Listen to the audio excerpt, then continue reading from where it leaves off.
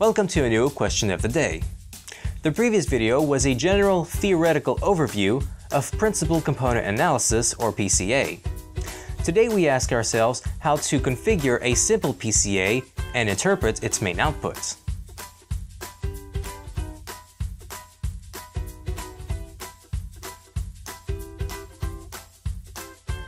We started talking about PCA when we asked the question of how to summarize the info carried by several quantitative variables.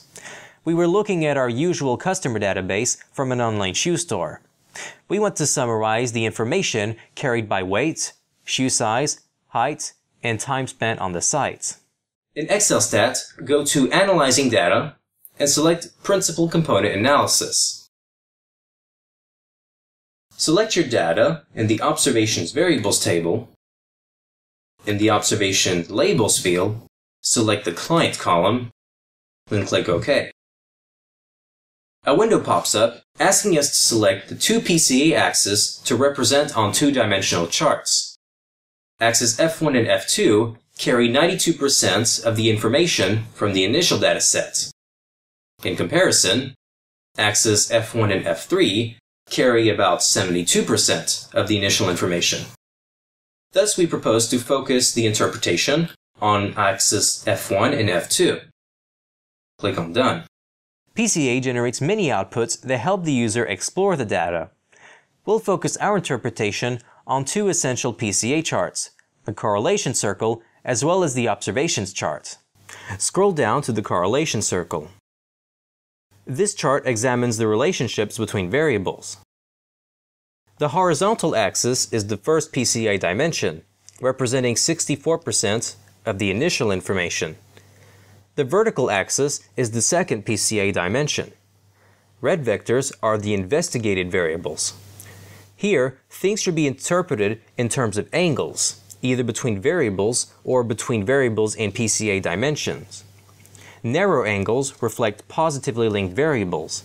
Height and weight are thus positively correlated. Right angles depict variables that are unrelated to each other.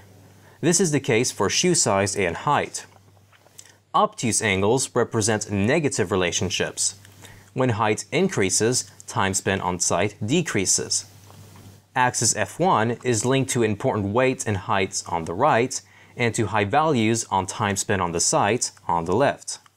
Axis F2 is related to the shoe size variable.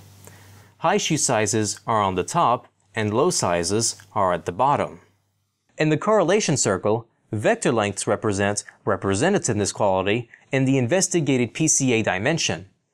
If a variable has a short vector length on dimensions f1 and f2, then its information is likely to be better represented in other PCA dimensions, maybe F3. If that's the case, we would suggest to relaunch the analysis and choose to display dimension F3. Now scroll down to the observations chart. This chart will help us relate individuals to variables and to one another.